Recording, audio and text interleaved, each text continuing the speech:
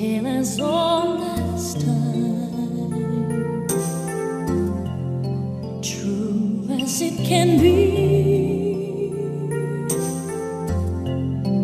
Barely even friends, then somebody bends unexpectedly. Just a little.